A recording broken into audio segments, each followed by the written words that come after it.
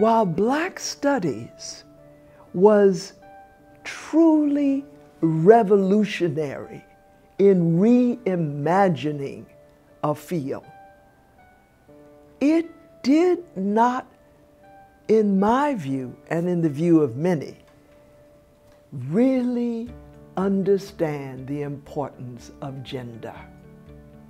And so much of Black studies in its early days was really the study of black men.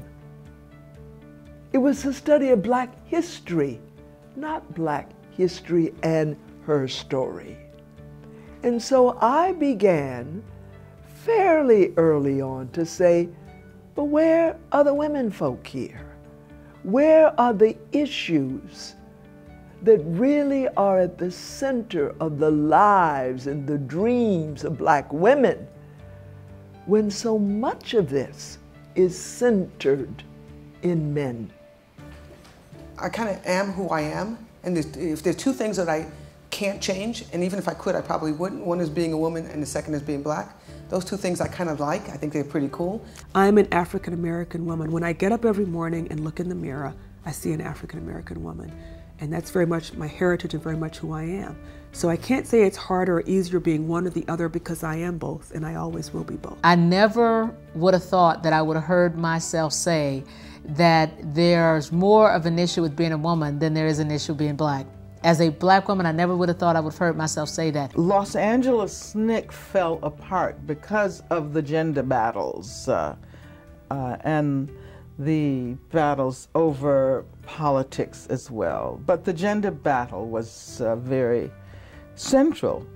And I say it was a battle around gender, it wasn't a battle between the genders. Uh, the catalyst for this battle happened when someone involved at the national level came out to visit the chapter and did not like the fact that there were women in leadership. Black feminism is a lens, it's a framework for understanding the world, including African American experience. It's a battle that we continue to wage. There are loads of folk who think that black feminism is irrelevant. And when you think of the black woman, all the change that they are available, she has on her legs economic, political, social, you name it. And until we release all of these chains off of her legs, we will not have the freedom for any of us that we think we're entitled to. Toughest part of my first year in the NBA was just all the scrutiny. I really personally felt like people were expecting me to fail.